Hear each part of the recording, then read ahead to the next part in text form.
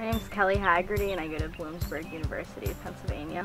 My research is on the people that live here in Greenbackville um, between the years of 1870 and 1920.